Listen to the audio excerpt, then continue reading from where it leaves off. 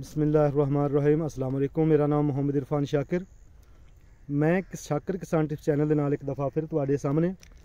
ਅੱਜ ਦੀ ਵੀਡੀਓ ਅਸੀਂ ਅਨਾਰ ਦੀ ਕਟਿੰਗ ਦੇ ਹਵਾਲੇ ਨਾਲ ਥੋੜੀਆਂ ਜਿਹੀਆਂ ਤੁਹਾਨੂੰ ਗੱਲਾਂ ਸਾਂਝੀਆਂ ਕਰਾਂਗਾ। ਸਭ ਤੋਂ ਪਹਿਲਾਂ ਮੇਰਾ ਇਹ ਸਵਾਲ ਹੁੰਦਾ ਹੈ ਤੁਹਾਡੇ ਅੱਗੇ ਕਿ ਮੇਰਾ ਚੈਨਲ ਸ਼ਾਕਰ ਕਿਸਾਨ ਟਿਪਸ ਚੈਨਲ ਹਮੇਸ਼ਾ ਖਾਸ ਕਰ ਅਨਾਰ ਜੋ ਪੋਮੀਗ੍ਰੈਨੇਟ ਹੈ, ਇਹਦੇ ਉੱਪਰ ਅਸੀਂ ਬਹੁਤ ਸਾਰੀਆਂ ਵੀਡੀਓ ਬਣਾਈਆਂ। ਇਹ ਤੇ ਮੇਰਾ ਬਹੁਤ ਜ਼ਿਆਦਾ ਫੋਕਸ ਹੈ।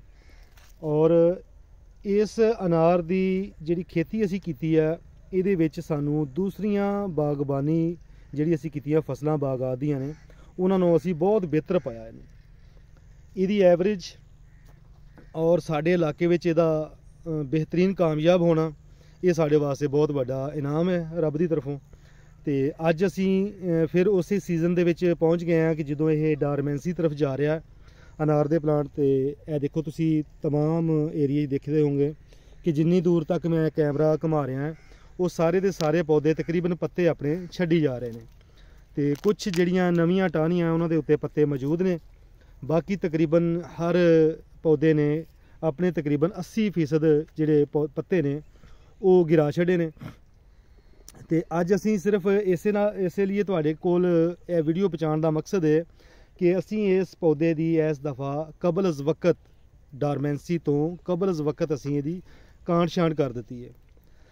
ਉਹਦੇ ਵਿੱਚ ਜੋ ਸਾਨੂੰ ਇਹ ਚੀਜ਼ ਲੱਭੀ ਹੈ ਕਿ ਪਿਛਲੀ ਦਫਾ ਅਸੀਂ ਬਹੁਤ ਲੇਟ ਹੋ ਗਏ ਸੀ, ਨਵੀਂ ਫੁਟਾਨ ਆਉਣ ਵਾਲੀ ਸੀ ਤੇ ਜਦੋਂ ਅਸੀਂ ਕੱਟ ਇਹਨੂੰ ਕਟ- ਕਾਂਟ ਛਾਂਟ ਕੀਤੀ ਸੀ। ਤੇ ਇਸ ਦਫਾ ਅਸੀਂ ਇੱਕ ਮਾਹ ਪਹਿਲੋਂ ਹੀ ਪੱਤਾ ਝੜਨ ਤੋਂ ਤਕਰੀਬਨ ਪੱਤਾ ਇਹਦੀ ਕਾਂਡ ਛਾਂਟ ਤੋਂ ਬਾਅਦ ਝੜਿਆ ਹੈ। ਅਸੀਂ ਇਹਨੂੰ ਇੱਕ ਮਹੀਨਾ ਪਹਿਲੋਂ ਹੀ ਕਰ ਦਿੱਤਾ ਹੈ ਤਾਂ ਕਿ ਡਾਰਮੈਂਸੀ ਵਿੱਚ ਜਾਵੇ ਤੇ ਇਹਦੀ ਜਿਹੜੀ ਖੁਰਾਕ ਆ, ਉਹ ਸਟੋਰੇਜ ਹੈ, ਅੱਖਾਂ ਦੀ ਸਟੋਰੇਜ ਆ ਉਹ ਜ਼ਾਇਆ ਨਾ ਹੋਵੇ। ਇਹਦੀ ਜਿੰਨੀ ਵੀ ਅੱਖ ਹੁੰਦੀ ਆ, ਉਹਦੀ ਸਟੋਰੇਜ ਹੁੰਦੀ ਆ, ਜਿੰਨੀ ਵੀ ਇਹ ਆਪਣੀ ਪੱਤਾ ਝਾੜਨ ਤੋਂ ਬਾਅਦ ਲੀਫ ਜਿੱਥੋਂ ਦੁਬਾਰਾ ਨਿਕਲਣਾ ਹੈ, ਪੱਤਾ ਦੁਬਾਰਾ ਨਿਕਲਣਾ ਨਾ, ਇੱਥੋਂ ਫੁੱਟਣਾ ਹੈ, ਉਹ ਫਿਰ ਖੁਰਾਕ ਦੀ ਸਟੋਰੇਜ ਕਰਦਾ ਹੈ।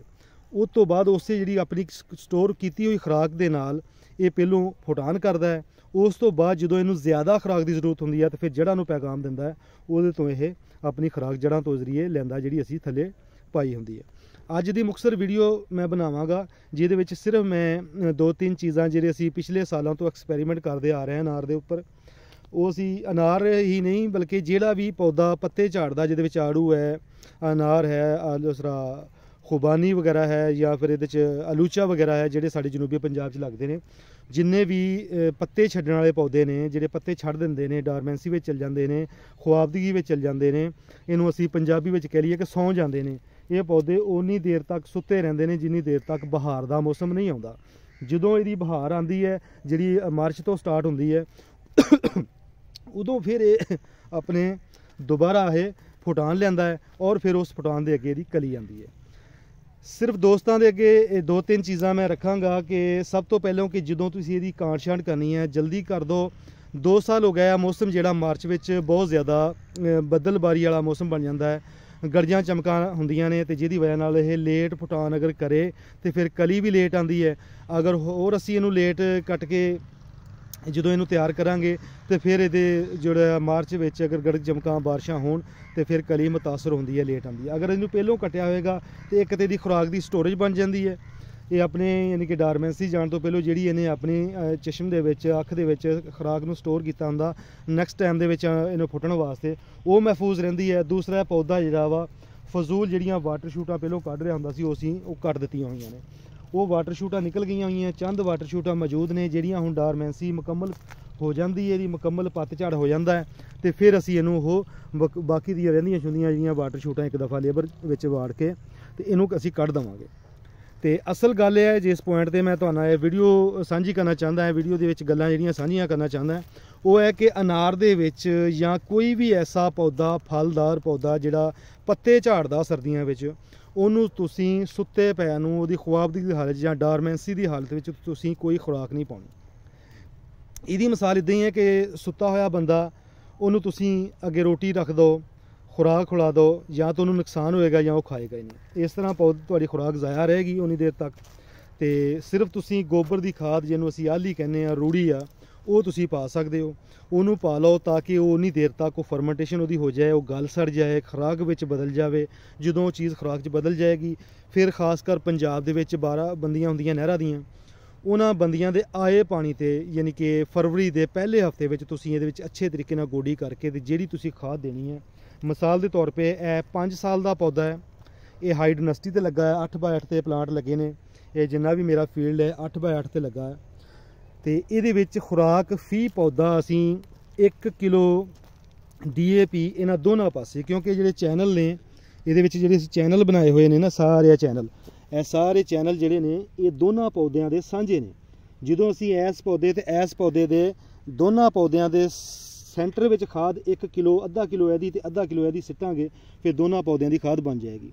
ਦੂਸਰੀ ਦੀ ਪਮੈਸ਼ ਇਹ ਹੈ ਕਿ ਅਗਰ ਤੁਸੀਂ ਅੱਧਾ ਕਿਲੋ ਇੱਧਰ ਪਾਉਂਦੇ ਨੇ ਤੇ ਅੱਧਾ ਕਿਲੋ ਉੱਧਰ ਪਾਉਂਦੇ ਨੇ ਤੇ ਦੋਨਾਂ ਪਾਸੇ ਅੱਧਾ ਕਿਲੋ ਇਹਦੀ ਬਣ ਜਾਏਗੀ ਤੇ ਅੱਧਾ ਕਿਲੋ ਦੋਨਾਂ ਪਾਸੇ ਦੀ ਉਹਦੀ ਬਣ ਜਾਏਗੀ। ਇਸ ਕਰਕੇ ਅਸੀਂ ਇਹਨੂੰ 1 ਕਿਲੋ ਡੀਏਪੀ ਦੀ ਰეკਮੈਂਡੇਸ਼ਨ ਕਰਦੇ ਹਾਂ 5 ਸਾਲ ਦਾ ਜਵਾਨ ਪੌਦੇ ਨੂੰ।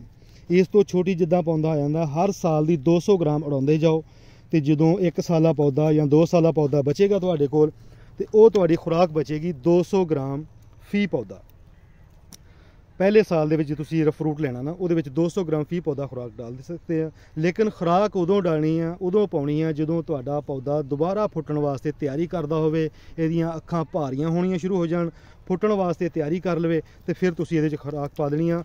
ਔਰ ਆਏ ਪਾਣੀ ਤੇ ਨਹਿਰਾਂ ਦੀਆਂ ਜੋ ਬੰਦੀਆਂ ਖਤਮ ਹੁੰਦੀਆਂ, ਉਹਦੇ ਵਿੱਚ ਤੁਸੀਂ ਜੋ ਵਾਪਸੀ ਪਾਣੀ ਆਂਦਾ ਹੈ, ਪਹਿਲਾ ਪਾਣੀ ਜਾਂ ਦੂਸਰਾ ਪਾਣੀ ਇਹਨੂੰ ਲਗਾ ਕੇ ਖੁਰਾਕ ਮੁਕੰਮਲ ਕਰ ਦੇਣੀ ਹੈ। ਤੇ ਜਦੋਂ ਤੁਸੀਂ ਇਹਦੀ ਕਟਾਈ ਕਰਨੀ ਹੋ ਮੇਰੀਆਂ ਪਹਿਲੋ ਵੀਡੀਓ ਤੁਹਾਡੇ ਕੋਲ ਮੌਜੂਦ ਨੇ ਇਸ ਚੈਨਲ ਦੇ ਵਿੱਚ, ਸ਼ਾਕਰ ਕਿਸਾਨ ਟਿਪਸ ਚੈਨਲ ਦੇ ਵਿੱਚ। ਬਹੁਤ ਸਾਰੀ ਇਨਫੋਰਮੇਸ਼ਨ ਵੀਡੀਓ ਹੈਗੀਆਂ, ਉਹ ਤੁਸੀਂ ਖੋਲ ਕੇ ਦੇਖ ਸਕਦੇ ਨੇ ਕਿ ਇਸ ਟਾਈਮ ਕਿਹੜੀ ਖੁਰਾਕ ਪਾਉਣੀ ਹੈ ਕਿਸ ਟਾਈਮ ਕਿਹੜੀ ਤੁਸੀਂ ਕਾਂਟ ਛਾਂਟ ਕਰਨੀ ਹੈ ਅੱਜ ਦੀ ਵੀਡੀਓ ਸਿਰਫ ਜਿਹੜੇ ਮੇਰੇ ਤਜਰਬੇ 'ਚ ਗੱਲ ਗੁਜ਼ਰੀ ਸੀ ਕਿ ਸੁੱਤੇ ਹੋਏ ਪੌਦਿਆਂ ਨੂੰ ਜਾਂ ਡਾਰਮੈਂਸੀ ਵਿੱਚ ਗਏ ਹੋਏ ਪੌਦੇ ਨੂੰ ਕਦੀ ਵੀ ਖੁਰਾਕ ਨਾ ਪਾਓ। ਤੇ ਅੱਜ ਦੀ ਵੀਡੀਓ ਮੈਂ ਇਸੇ ਗੱਲ ਦੇ ਨਾਲ ਮੁਕਾ ਕੇ, ਮੁਕਾਨਾ ਹੈ।